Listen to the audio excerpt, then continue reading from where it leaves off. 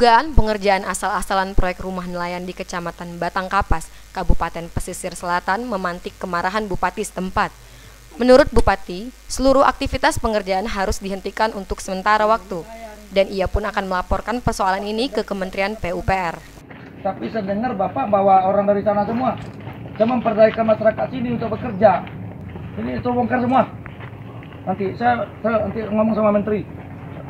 Ya, kamu perlu kalau ada pekerjaannya menyimpang nih, korupsi nih, tindak nih. Orang-orang seperti ini nih. Bupati marah besar kepada pengawas proyek bangunan saat mendapati banyak bangunan yang berpondasi dangkal. Menurut Bupati Pasel, hal ini sudah melanggar spek pekerjaan. Sebanyak 34 unit rumah diindikasikan bermasalah. Bupati meminta semua bangunan yang sudah ada harus dibongkar atau dirobohkan semuanya. Apabila tidak dilakukan tindakan, pengawas proyek akan dilaporkan ke KPK.